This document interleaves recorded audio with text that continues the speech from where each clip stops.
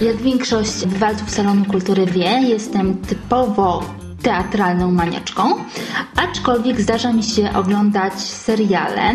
Jednym z takich seriali są Barwy Szczęścia, właściwie jedynym. O, to E. cieszy, to bardzo miłe. Zaczęłam oglądać dzięki gościowi, który był kiedyś e, na Salonie Kultury. E, a ówcześnie grał aktor w tym serialu.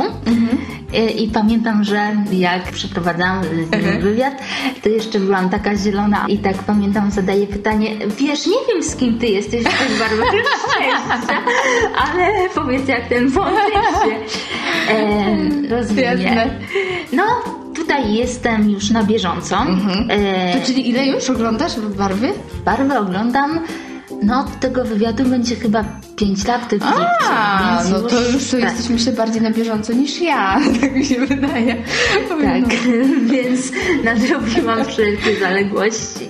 I tak aktor już dany nie gra, ja jeszcze A, okej. zostałam. E, I dzisiejszym gościem Salonu Kultury, nie przedłużając już, będzie Natalia Sierszputowska. I Natalio, skoro mówiliśmy już o oglądaniu seriali, czy ty jakieś seriale oglądasz, czy wolisz e, może posiedzieć z książką, a może wejść do teatru, do kina? Wiesz co, to tak naprawdę dla mnie nie ma takiego wolę to czy wolę to. W sensie to są wszystko zupełnie inne rzeczy, inne sytuacje. I tak samo lubię czytać i tak samo lubię na Netflixie spędzać czasem. O, każdy z nas ma takie dni. Sobota pada, zamawiasz pizzę i siedzisz i, i jesz i przez 5 godzin oglądasz seriale. Ale, ale tak, seriali to... Hmm, bardzo fajny, animowany. Ostatnio wyszedł serial na Netflixie właśnie, nazywa się Tuka and Bertie.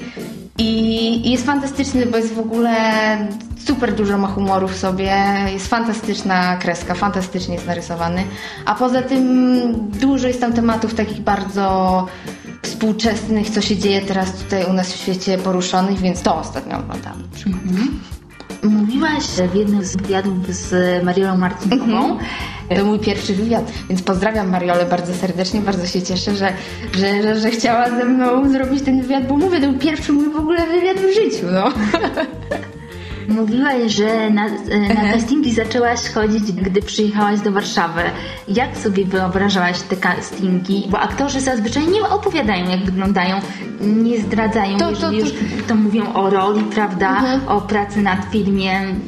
Myślę, że też dużo osób też tak naprawdę jest tego bardzo ciekawych, bo to jest jednak no dosyć takie specyficzne pierwsze spotkanie jakieś tam z daną, z daną produkcją. Z barwami to akurat było po prostu tak, że dostałam zaproszenie od mojej agencji i no klasyczna sytuacja, jakiś mini dialog do nauczenia i tyle. A jak sobie to wyobrażałam przed przyjazdem, wiesz co, jakoś specjalnie się nad tym nie zastanawiałam, bo byłam tak bardzo zdeterminowana, żeby robić i żeby, żeby cisnąć, że po prostu już zaczęłam chodzić i, i już jakieś tam moje pojęcie, wyobrażenie na ten temat się zrodziło w miarę, w miarę po prostu chodzenia. Ale no, na castingach to, to, to rzeczywiście ja wiem, że dużo aktorów i też moich znajomych, którzy nie są aktorami, ale którzy grają, nie, nie, nie przypada za, za castingami, bo to jednak bardzo często, w większości przypadków tak naprawdę to są mega długie godziny czekania w dusznych korytarzach z masą innych ludzi. No czasu trzeba dużo na, na castingi zawsze poświęcić. Bo ty nie jesteś po szkole aktorskiej. Nie. E, Nie jest to ci zarzucane, dyskryminowana nie jesteś. Wiesz co, nie, ja bym chciała iść do szkoły bardzo. I będę się starać w tym roku, znowu zresztą. Wiesz co, no rzeczywiście jednak ja, ja to rozumiem, bo jednak ludzie, ludzie po szkołach są zawsze raczej ekstremalnie zdolni, no i też mają bardzo duży warsztat, którego ja po prostu nie mam. I też rozumiem, że reżyserzy mają większe trochę do nich zaufanie jednak. Ale no, to też zależy. Raczej ja, ja, ja się nigdy nie spotkałam z tym, żebym była jakoś dyskwalifikowana z czegoś ze względu na to, że, że nie jestem po szkole. E, Czyli teraz świat taki mm, staje się bardziej otwarty na tych naturszczyków przysłowiowych? Tak, tak, tak, to prawda. Ja to też sama słyszę od wielu moich znajomych, y, nie tylko aktorów, ale też właśnie, którzy generalnie robią coś filmowego, że jest masa ludzi grających nie po szkołach. Ja sama bym się chciała cały czas uczyć, ale jeśli nie dostanę się do szkoły, to nie mam zamiaru przestawać. Więc... Czyli tak twardo pniesz Tak. do swojego celu. Tak, chyba chyba nie ma innego wyjścia tak naprawdę w tym zawodzie, tak mi się wydaje, że... że Bardzo tak... mocno trzeba się łokciami przypychać. Tak. Znaczy, łokciami... Ja nigdy nie, nie, nie miałam takiego wrażenia, że, że jakoś tam trzeba ten... Ale no rzeczywiście nie można się poddawać, jakkolwiek trywialnie to brzmi, to, to jednak masa jakichś tam niepowodzeń i, i słabych castingów i tak dalej, i tak dalej, które się odbębni przysłowiowo, zanim się dostanie jakąś rolę, to jest, no, no, no Boże, to, to jest super dużo.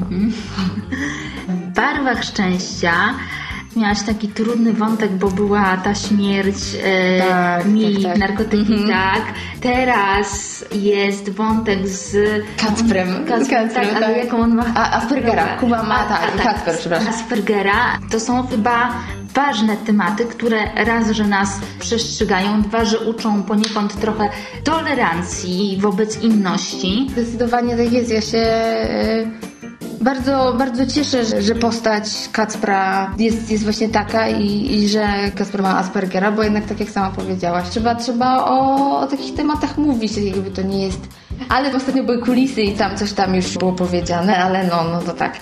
Tam różne, różne rzeczy się działy i Madzia rzeczywiście nie, nie zachowała się całkiem w porządku, ale tak, no to, to, to, to jednak ważne i dobrze, że ten wątek też jest taki tak bardzo mocno mm, skierowany do młodych ludzi, bo ja wierzę, że coś tam jednak można się nauczyć z tych naszych historii szalonych. Historia z morałem. Tak, dokładnie.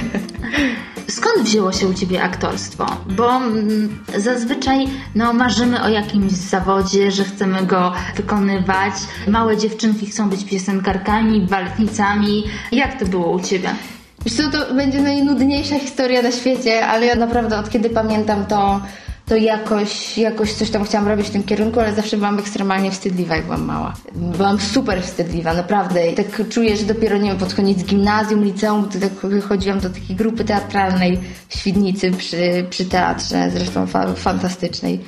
To tam czułam, że, że tak się rzeczywiście powoli, powoli, powoli otwieram, ale, ale no jednak cały czas jednak to trochę zostało i muszę też na co dzień walczyć z tą moją nieśmiałością, bo trochę tam jest jej jeszcze. No właśnie, podobno aktorstwo, wielu aktorów to powtarza, że aktorstwo pomaga poskromić tą nieśmiałość. Mhm, tak, tak, tak. No mówię, no, no to trzeba, trzeba walczyć ze sobą. Chyba, chyba, chyba o, to, o to chodzi. Pokonywać te jakieś swoje często absurdalne lęki i obawy i iść do przodu, co nie? I jakie masz hobby? Ostatnio na przykład wkręciłam się w pole dance. I to jest w ogóle, ja nigdy nie byłam totalnie sportową osobą. Zawsze WF to był mój mniej ulubiony przedmiot, niestety.